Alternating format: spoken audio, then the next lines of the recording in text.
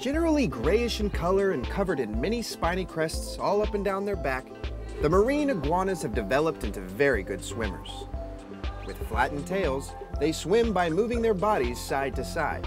Staying mostly in the shallow waters where it's not too cold, the marine iguanas can survive dives up to half an hour long.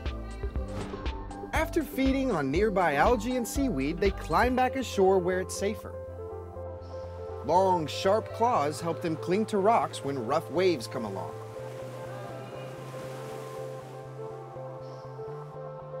Not a great day for surfing. Think I'll head back to the shore. Because marine iguanas take in such a large amount of seawater while they're feeding, they have developed salt glands, which help remove the salt and deposit it in the nostrils.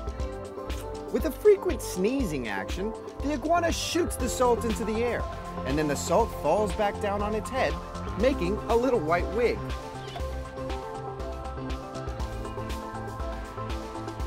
Hey, that little snake is not part of a symbiotic relationship.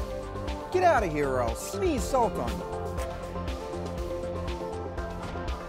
Most of the time, marine iguanas are lying around on the black lava rocks, warming up from the chilly Galapagos waters.